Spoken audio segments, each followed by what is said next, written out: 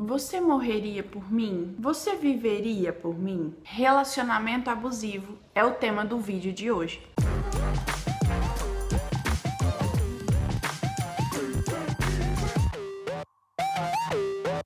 Relação abusiva é aquela onde tem o excesso de poder de um sobre o outro. É o desejo de controlar, ter a outra pessoa. Você já passou por uma relação assim? Ou pior, está numa relação assim? Esse tipo de comportamento normalmente começa de uma forma sutil, é aquele famoso ciúminho como prova de amor, sabe? Só que aos poucos, até mesmo sem a pessoa se atentar, toma proporções maiores, passa passa dos limites e aí causa sofrimento e mal-estar. Então vamos ver junto comigo quais são os sinais que podem indicar que você está numa relação abusiva. A outra pessoa pensa mais nela do que em vocês, na relação de vocês, tipo meio egocêntrica, sabe? A relação de vocês faz você se sentir mal a maior parte do tempo? Você sabe ou já ouviu pessoas falando mal da sua relação? Você conhece o passado do teu parceiro ou da sua parceira? Conhece? É ruim? Esta pessoa está te afastando da sua família, dos seus amigos, de tudo que você mais gosta e ama? Você se sente seguro em relação a essa outra pessoa? Ele ou ela te obriga a fazer coisas que você não quer, não tem vontade, não gosta de fazer? Essa outra pessoa te fala que quando tem uma crise crise de ciúme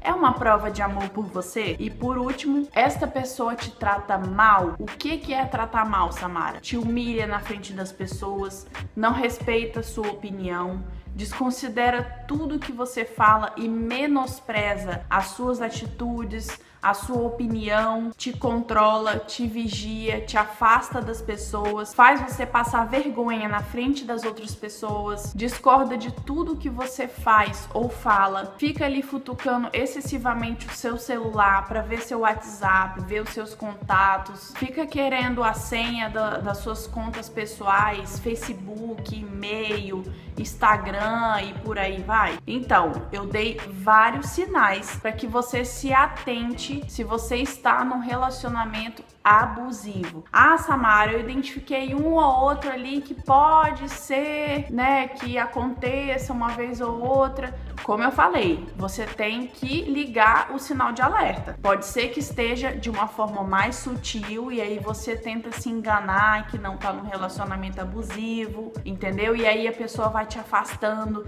vai te sufocando de modo que as pessoas vão se afastando de vocês e fica só você e aquela pessoa. Então, assim, se atenta. Todos esses sinais podem ser característicos de uma relação abusiva. Então, assim, o primeiro passo é você reconhecer que você está num relacionamento abusivo. Reconheceu? Aí você busca ajuda. Eu sei, eu sou psicóloga, sei que não é fácil sair de um relacionamento difícil, conturbado e, como eu estou falando aqui abusivo, mas busque ajuda. Não se acomode nessa situação. Você deve estar sofrendo em silêncio e as pessoas acham que está tudo bem. Então, todo relacionamento que o parceiro ou parceira quer controlar suas atitudes, suas opiniões, seu modo de agir, te afasta do mundo, é considerado abusivo. E o que é pior, gente, muitas vezes essa agressão passa do nível psicológico, mental e passa a ser uma agressão física. Então você deve saber, agressão não é só física ou não é só psicológica e principalmente nesse caso de relacionamento abusivo, pode ter as duas coisas juntas, tá? Então espero que esse vídeo tenha te ligado o, o alerta mesmo. Se você conhece alguém muito próximo a você que pode estar no relacionamento abusivo, compartilhe meu vídeo como quem não quer nada. Olha que legal o canal aqui da Samara, nananã. Compartilhe o vídeo para que essa pessoa possa identificar e tomar alguma atitude para sair dessa situação, tá bom? Espero que vocês tenham gostado gostado demais desse vídeo, foi um pouquinho mais sério, um tema mais sério, mas eu achei muito válido colocar aqui, porque é uma situação que muitas pessoas estão ou já passaram, e é bacana você saber que pode sair dessa situação, que tem ajuda, basta você ir atrás, tá bom? Espero que tenham gostado, se gostaram, curtam o vídeo, se inscrevam no canal e compartilhem os vídeos, tá bom? Beijo!